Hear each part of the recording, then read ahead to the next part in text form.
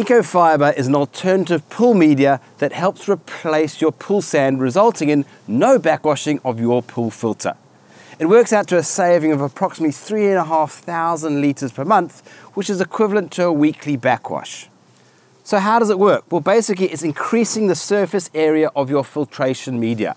It's made out of PET fibers, which are going through a needling process. What that means is it's knotting each one of the fibers, and that increases the surface area of the filtration capacity of the fibers and the sponge. At the same time, this needling also disrupts the water flow, changing the direction throughout the filter. So it's actually maximizing the capacity and the potential of the filtration of each sponge. Now because the water direction is changing throughout the filter and you're maximizing each sponge, it means it's not taking the shortest path through the filter and back into the pool. You're getting more filtration.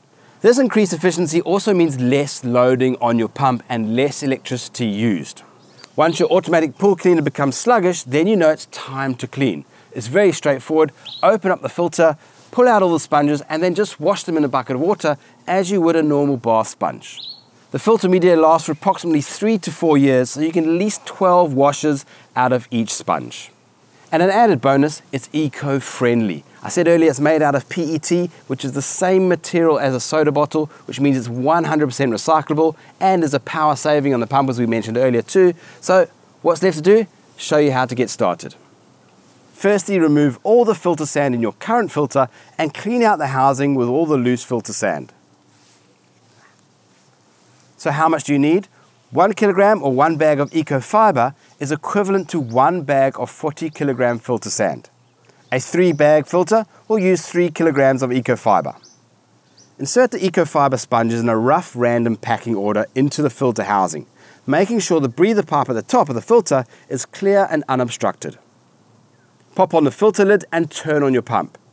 When putting your lid on, it is a good idea to replace that O-ring and also remember when tightening it down, work on one side and then jump to the other. Keep moving across so you get an even loading and even pressure of that lid. We've got a broken bolt here. That's another DIY to do.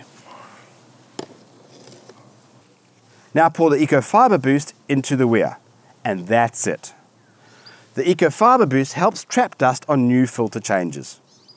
That's the Ecofiber in. Remember, one bag of Ecofiber replaces one bag of sand and you don't need to backwash anymore. So you've got all that water saving every month. To find out about more pool products at Builders, check out the website and the Builders Fan YouTube channel.